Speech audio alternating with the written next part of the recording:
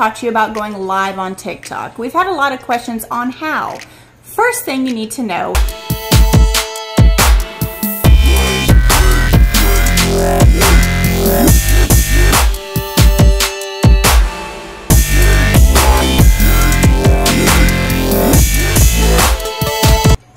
Hey guys, PCS Girls here. So today I'm going to talk to you about going live on TikTok. We've had a lot of questions on how. First thing you need to know is you need to have a thousand followers. Second, you got to be over 16. But if you're not, just don't film your face. It'll be okay. So now I'm going to take you and show you how to do it. Let's go.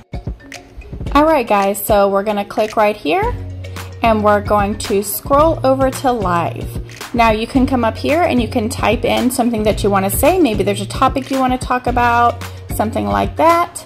And you've got different things over here that you can do. And then you just hit go live.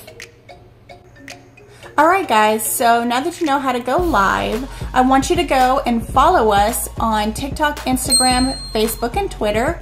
And I want you to subscribe to us on YouTube and go live, and maybe we'll see you in one of your lives.